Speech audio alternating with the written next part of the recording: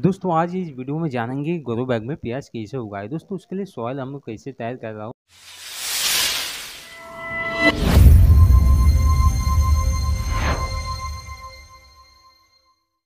देखिए, हल्दी जो हम लोग सब्ज़ी में यूज़ करते हैं, हल्दी क्या है कि मिट्टी में अगर न्यूट्रिशन की कमी है तो वो पूरा करता है। दोस्तों तो हल्दी हम इतना मिट्टी के लिए एक चम्मच ले रहा हूँ, जो कि हमारे छः बाई पंद्रह का ग्रो बैग है, उस, उतना मिट्टी हमारा इसमें आता है। तो एक चम्मच हमने हल्दी लिया बड़े चम्मच से। दोस्तों, ये बूझे हुए चूना। दोस्तों, ये चूना क्या है कि मिट्टी का जो पी लेवल है, वो ठीक करता है, उसके साथ साथ ही कैल्शियम के काम भी करता है। दोस्तों तो एक चम्मच हमने चूना लिए, एक चम्मच हल्दी लिए। दोस्तों तो इसमें गार्डन सॉइल लिया हमने सेवेंटी परसेंट और थर्टी परसेंट लिए गबर का खाद दोस्तों तो इस सॉइल को हमने मिक्स करेंगे इसमें प्याज उगाएँगे। और प्याज उगाने के लिए दोस्तों, सबसे बेस्ट समय अक्टूबर के आखिरी या नवंबर या दिसंबर के शुरुआत में भी आप लगा सकते हैं। सबसे सही समय है प्याज उगाने के। दोस्तों तो इसके लिए हमने ग्रो बैग लिए हैं। सबसे बेस्ट ग्रो बैग होता है छः बाई पंद्रह। अट्ठारह भी ले सकते हैं आप, लेकिन छः बाई पंद्रह सबसे बेस्ट है।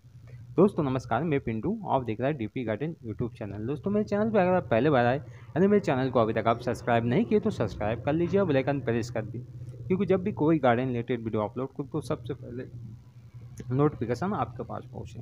दोस्तों, देखिए, हमारा साल मिक्स हो गया और इसमें हमने ग्रो बैग में छः बाई पंद्रह का ग्रो बैग में अब मिट्टी को भरा दोस्तों, इसके बाद आप प्याज प्याज में क्या करना है, प्याज आप कैसे उगाते हैं?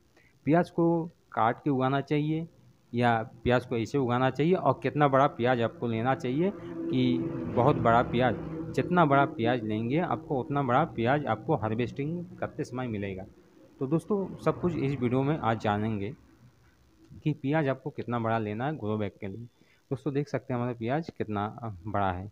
तो दोस्तों, इतना प्याज लिए इस ग्रो बैग में क्योंकि स्प्रेज देना हमको।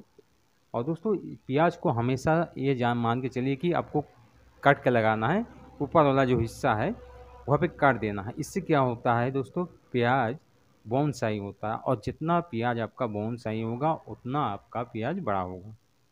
ठीक दोस्तों तो ग्रो बैग के लिए जब भी आप प्याज को उगाएँगे तो प्याज को ऊपर वाला हिस्सा से कट के लगाना है, यानी कटिंग करके देना ठीक दोस्तों तो इससे क्या होगा कि आपके प्याज के जब हार्वेस्टिंग करेंगे तो बहुत बड़ा प्याज आपको मिलेगा। प्याज में आपको उतना ही गुड़ाई करना है जितना लहसुन में किया जाता है। जितना गुड़ाई करेंगे, उतना आपको प्याज बढ़ेगा। और दोस्तों, इसमें हमारा इस, इधर बालूहार मिट्टी है, इसलिए हमने इसमें धान के भूसी नहीं लिए आपकी इधर अगर मटियार मिट्टी है, यानी जो मिट्टी टाइट होता है तो उसके लिए आप 10 परसेंट धान के भूसी ले सकते हैं इस मिट्टी में। दोस्तों, देखिए, हमने प्याज को कितना स्प्रेस दे रहा हूँ। इतना स्प्रेस आप भी दीजिए, क्योंकि प्याज आपको कुछ इतना स्प्रेस देने से आपको काफ़ी बड़ा होगा। तो दोस्तों, प्याज उगाने के बेस्ट समय जान गए। बेस्ट ग्रो बैग क्या है, वो हमने बताया।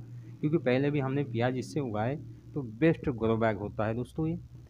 दोस्तों देखिए, हमने जितना स्प्रे दिया, इतना ही हमने प्याज लिए हैं। और देख सकते हैं कितना प्याज है। और यहाँ पे क्या करेंगे, हम सीधा प्याज को जो सॉयल है, हमारा यानी जो मिट्टी है, उसके नीचे सीधा रख देंगे। और उसके बाद इसमें सॉयल में पानी देंगे दोस्तों। पहले बार पानी देंगे हम भरपूर। उसके बाद जब हमारा इस ग्रो बैग के सॉयल यानी मिट्टी हार्ड हो जाएगा, सूख जाएगा, तब पानी देंगे। उसके पहले पानी नहीं देना है। जब तक प्याज आपका उग नहीं आता, तब तक। पानी आपको उतना देना कि प्याज उगने के कोई प्रॉब्लम ना हो। तो दोस्तों, देख सकते हैं, इस प्याज के आपको ग्रो बैग को कहाँ रखना है? छाया में या धूप धूप में? दोस्तों, इसको आपको फुल सनलाइट जहाँ पे आता है, वहीं पे रखना है।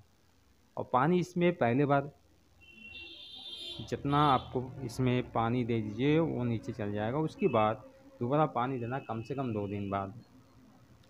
दोस्तों, देखिए हमारा प्याज उगाने के लिए लगभग छोड़ दिया हमने। दोस्तों तो इस सॉइल में पहले भी हमने प्याज को उगाने के लिए रखे तो अच्छा उगता है। उसके बाद जो, दोस्तों, देख सकते हैं हमारा ग्रो बैग में कितना कम से कम ढाई इंच का गैप है। तो इससे इस गैप रखने से क्या होता है कि हमारा जो बाद में जो फर्टिलाइज़र हमने देते फर्टिलाइज़र इसमें क्या देते आपको बताते हैं कि आप दे सकते हैं गोबर का खाद भी दे सकते हैं।